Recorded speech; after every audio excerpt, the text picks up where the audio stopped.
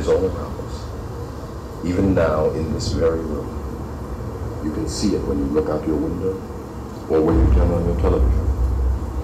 You can feel it when you go to work.